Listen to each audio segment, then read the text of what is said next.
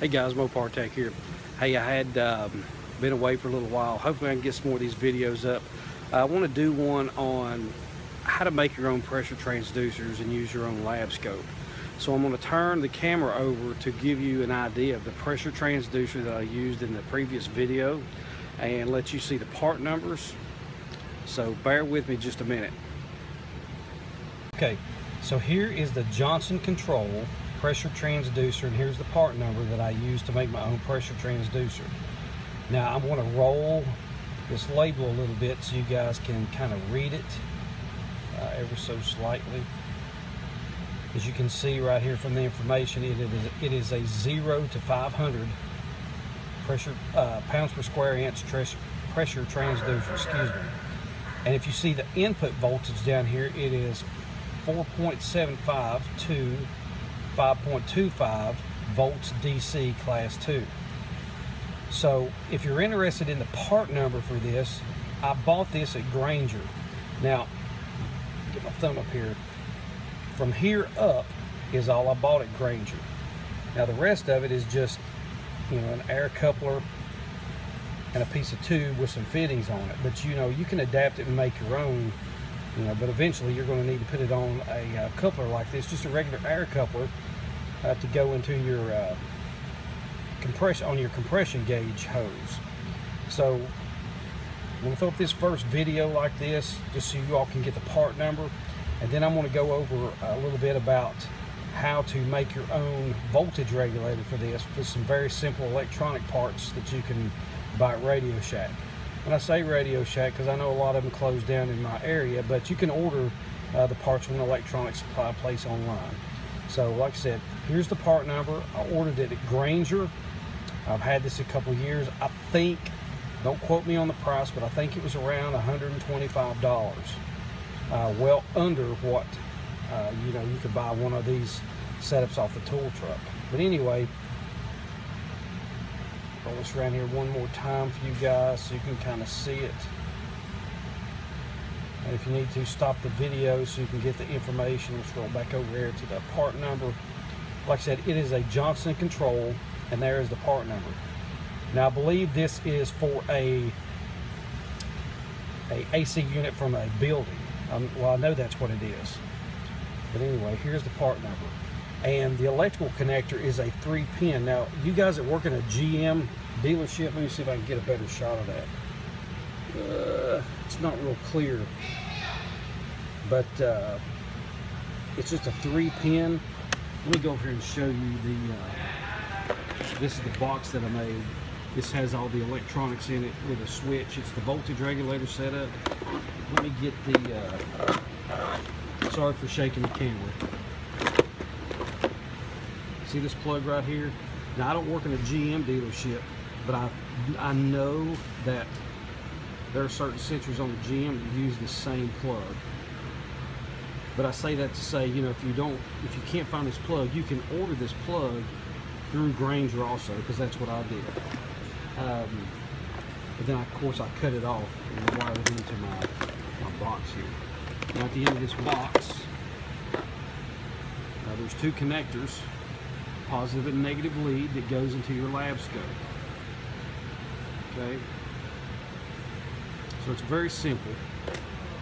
So let me crack open the old uh, voltage supply that I made here for you and show you exactly what's in it and how you can make your own. Okay, so here is the voltage supply for the pressure transducer. Now, let me follow these leads. I think we went over this just a little bit earlier, but here's for your lab scope, your lab scope leads, okay, or your voltmeter, whatever. And they go into the top right here. This other lead is the three wire uh, signal return and voltage supply that goes to your transducer. Now, basically, all that's in here is a breadboard, there's a voltage regulator down here, okay? There's a battery, and there's a cutoff switch right here, okay? I'm going to draw a little uh, diagram right quick because it might be a little easier if I do that just to show you how to wire it up uh, where it would be more simple. So let me do that. You know, I did take the tape off my uh, connections here just so you can see how you know it's put together, soldered together a little bit. But I think if I draw this out for you, it might be just a little bit better. Uh, if you guys are familiar with three-wire sensors, it's the same process. You've got a voltage supply, a ground, and a return. So we've got a battery, we've got a 5 volt, this is a 9 volt battery obviously. We've got a 5 volt regulator in here which regulates it down to 5 volts because if you uh, remember on the pressure transducer it's a 5 volt pressure transducer input voltage. So let me draw this out a little bit and see if I can help you out. Okay, let's go over what we got here. Got your 9 volt battery, positive and negative. What come off the positive, see I bought a little adapter here, you know, just a 9 volt adapter. To come over, go through your on off switch, which is right here on the side. Come out of your nine, or out of your switch, I'm sorry. And then on your voltage regulator right here, it's going to have three terminals. You're going to have a voltage input, a 5 volt output, and a ground. All right. So what we've got here, voltage switch, your voltage supply into the regulator, and you've got a ground. Now you're going to have four ground points right here. So you've got your, your return back to the battery, your ground on your voltage regulator. They're all spliced here together. It's going to go to your lead. So you have two scope leads. You have a red one and a black one or ground, okay? It's going to be tied in here. And then you're also going to have your ground for your pressure transducer.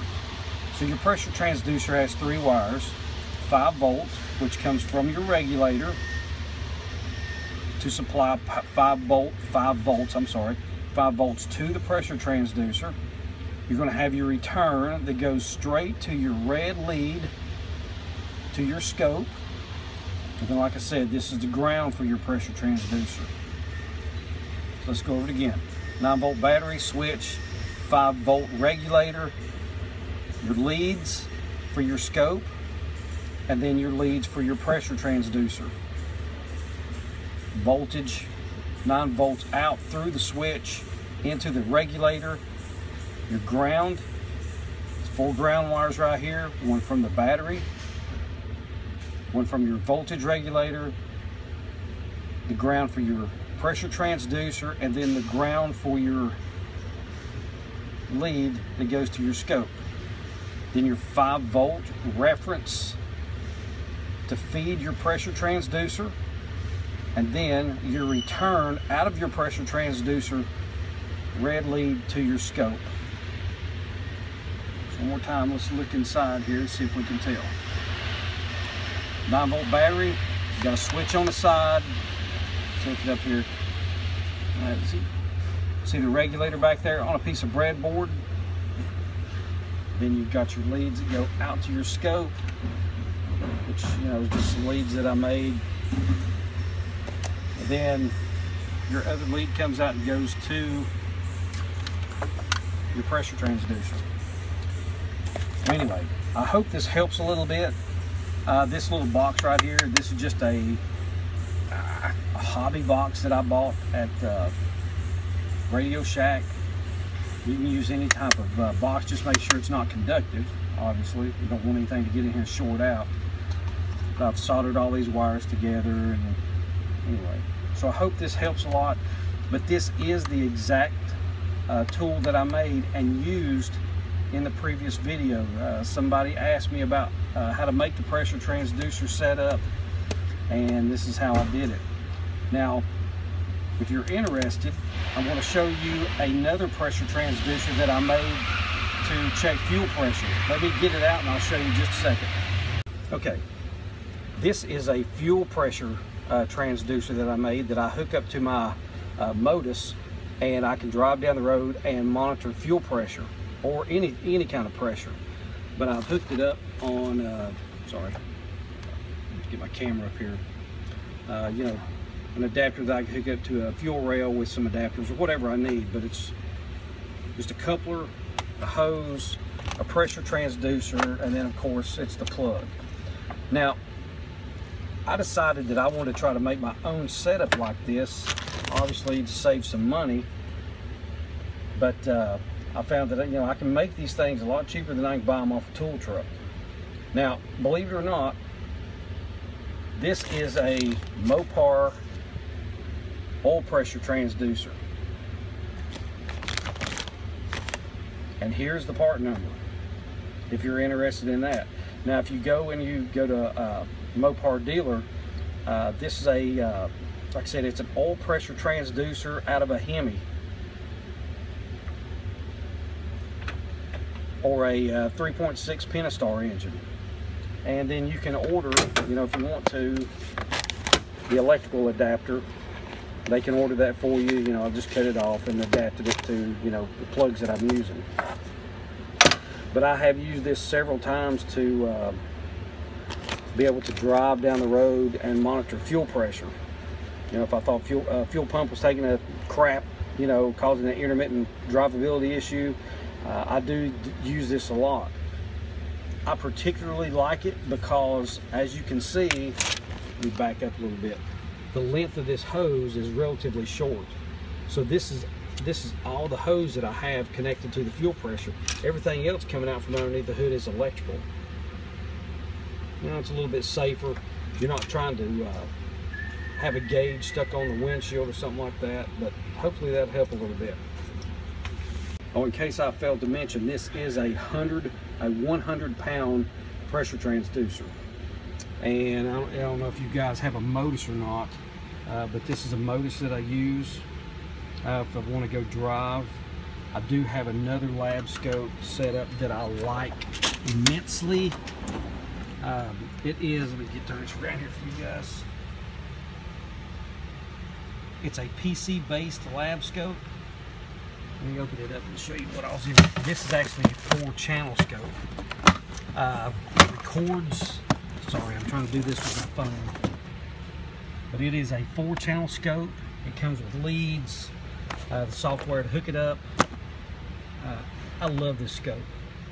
Now, it's not real conducive to driving down the road. You know, it does take a lot to hook it up, but if you're doing heavy drivability uh, diagnosis, you know, this is the scope to have. If I'm going to drive, you know, with my pressure transducer or anything like that, um, I usually use my Modis. Yeah, a little easier, a little quicker to set up. Okay, so I want to show you the fuel pressure transducer. A little bit about it. I'll give you the part number and stuff. So we've got the pressure transducer. It's wired up exactly the same as we did our in-cylinder pressure transducer. Same way, same thing. It's a three-wire sensor. Got a voltage supply. Cuts it down to supplies five volts here. We're going to go into our Modis and we're going to click uh, scope menu. I'm trying to look through my phone and do this, so forgive me if I shake a little bit. Lab scope. I'm to scroll down to 100 pound pressure transducer. It's going to ask you if you want to calibrate it. Now at this point, you need to make sure that your power is on and there's no and it's not hooked up to anything. Don't calibrate it with it hooked up to a fuel rail with some residual pressure. We're going to click yes. And as you can see, it's zeroed out. All right, well, let me see if I can find a vehicle to hook it up to and I'll show you how it works.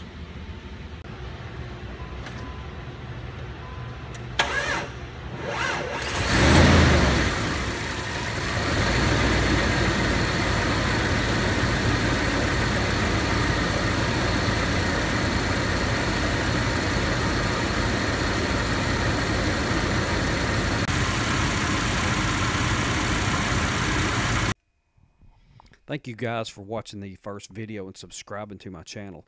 I had a large number of people who watched the video and uh, gave it a thumbs up. And a lot of people that asked me to do a video like this on how to make your own pressure transducer setup with a voltage regulation supply. Uh, good luck in making your own. Uh, feel free to stop the video, write down the part numbers. Uh, good luck in making your own.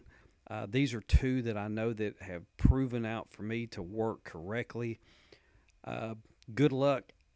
put in the comment section any other videos about any other subjects that you all would like me to try to do videos on.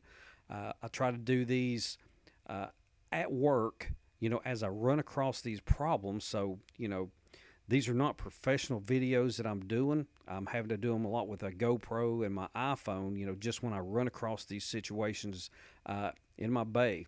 So I hope you enjoy these. I hope they're uh, informative to you. And please share my channel. And God bless.